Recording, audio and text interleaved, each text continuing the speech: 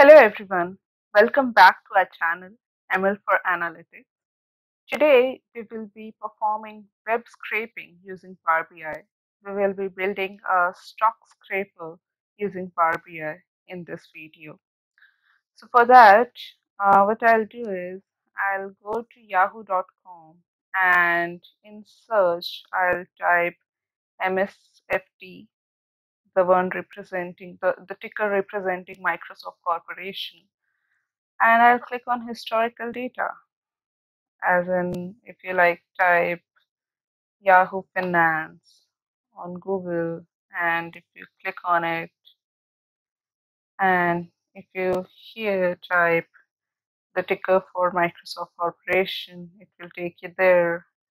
Go to historical data, obtain URL corresponding to that, and go to Power BI click on get data. So let the dialog, dialog box get open. Go to web, click on connect. Paste the copied URL over here, slash, then click on OK.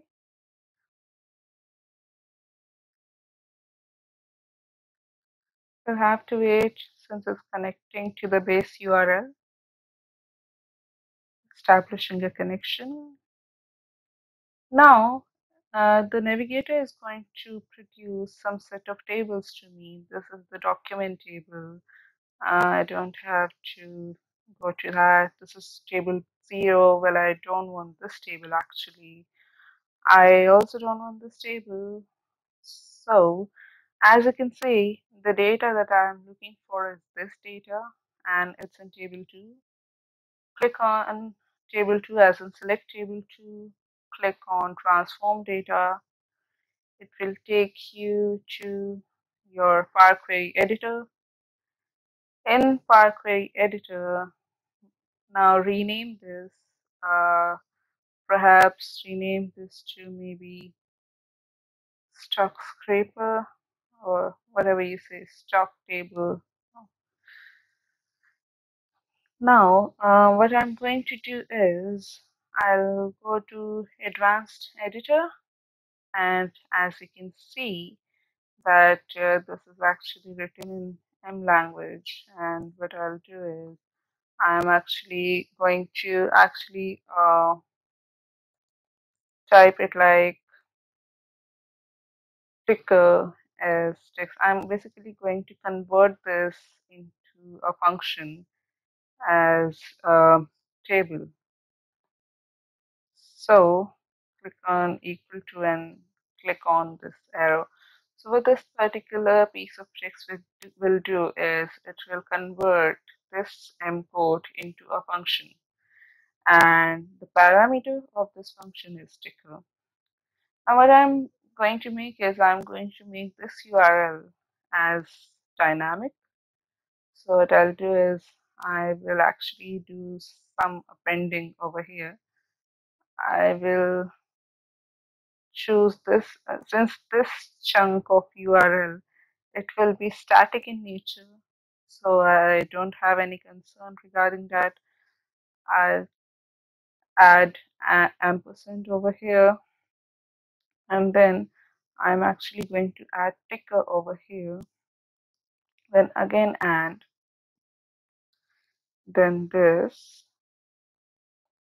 I'll have to again close it and I'll do the same over here. Again place ampersand over here. Again we'll uh, write the name of parameter as in ticker over here and then again ampersand so now uh, what I'll do is this is a function and whatever ticker I'm going to give over here the same ticker will be passed over here and the URL will be modified for that ticker. So in that way I have made this URL as dynamic in nature. So I will click on done. And as you can see this is a table now and uh, this is a function now and I have to pass any parameter over here if I pass MSFT over here and I click on invoke, then it's going to produce me the table corresponding to that share. I'll delete it for the time being. I'll go again to stock table, but actually this name doesn't look good to me. So I'll again change it to stock scraper. And what I'll do is I'll actually create a new table. I'll uh, name the column as ticker only and I'll enter some set of my favorite tickers over here. Um, Apple, PG, and uh, what else we can say? Uh, it's actually AAPL, sorry, it's actually AAPL.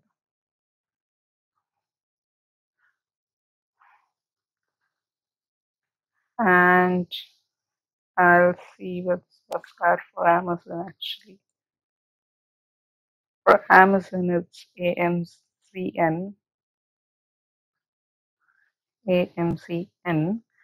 After this, it's GWG for Google or Alphabet, and I will name it as stock scraping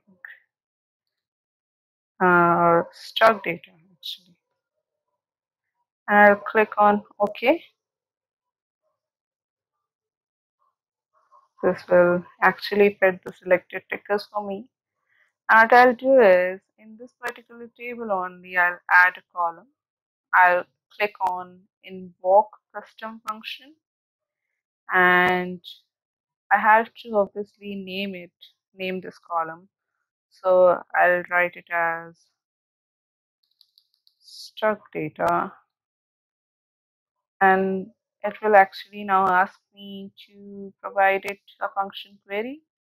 So I have uh, only one in my case, so it's stock scraper and on what column should I apply this function. So it's obviously ticker. Then I'll click on OK. It's going to ask me this information is required about data privacy. Just click on continue. Uh, ignore it. Click on save. So now, as you can see, uh, this has returned uh, a new column to me. And uh, in all these uh, rows, we are having a table corresponding to each ticker. So this is basically a table which was uh, the table two, which was fetched from Yahoo Finance site. And now what I'm going to do is I'm going to expand this column. I'm going to click on this expand button over here.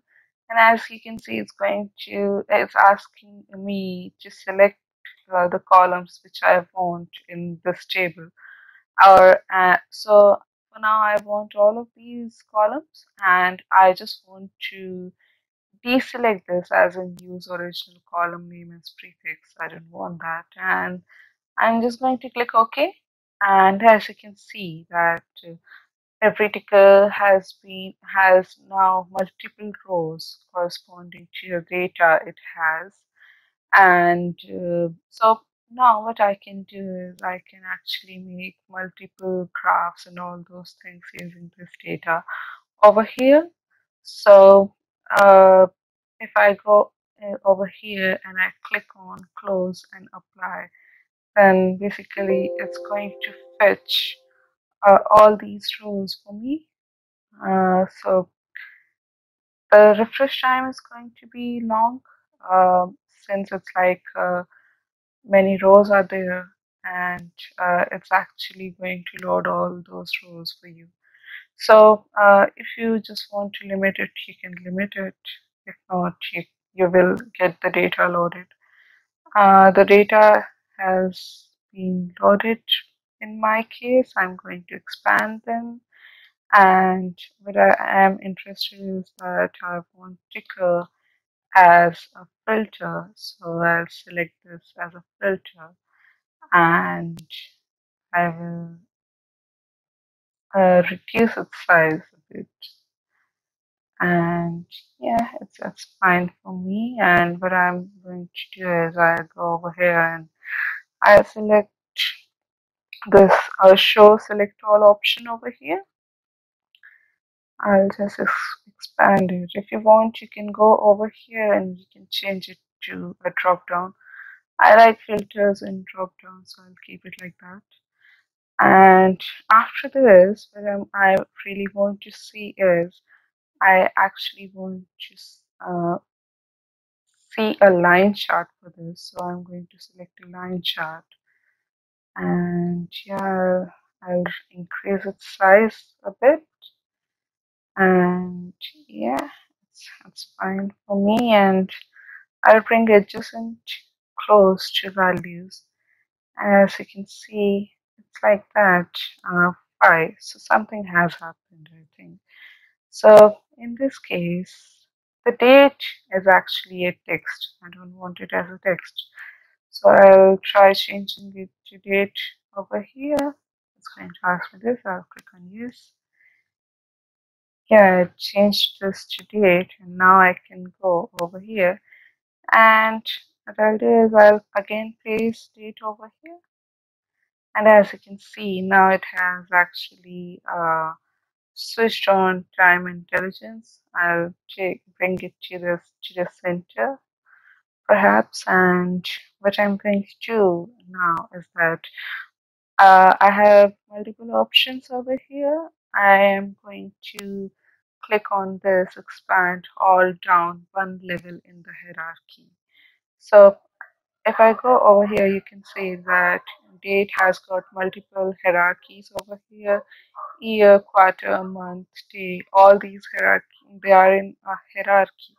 So what, I'm, uh, what I can do in this case, currently uh, it's set to the highest hierarchy. I can drill down and now I'm in I am at the next level in the hierarchy and that is I am on quarter level and I can see the count of edges. Well, I don't want to count actually. I really want to see the sum, and I I just think that even adjacent clause is in text C. I don't want that, so I'll actually change it to decimal number. I'll click on yes. Okay, it's saying that we cannot automatically convert the column to decimal number type. Well, this happens because there was some value in this row which can be converted to a number. So for that, you have to go over here and particularly what Yahoo does is that it actually places a dash or as you can see, this dividend field is over here and that is why actually it's it's giving me this I'm going to exclude it for this time and I'm going to click on OK. And again I'm going to now I'll change it from any to a decimal number in the first place itself and I'll go. I, I'll actually have to do this for every column over here right now I'm not going to do this do it. Since I'm uh, interested in adjacent close for the time being. I'll click on close and apply.